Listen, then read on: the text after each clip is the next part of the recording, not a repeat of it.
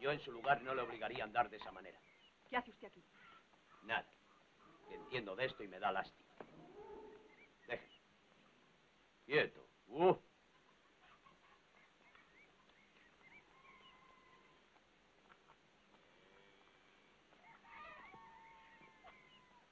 Ya está. ¿Quiere preguntar si hay en la casa trabajo para un hombre? No, no hay que preguntar nada. Yo soy el ama. Venga. are you?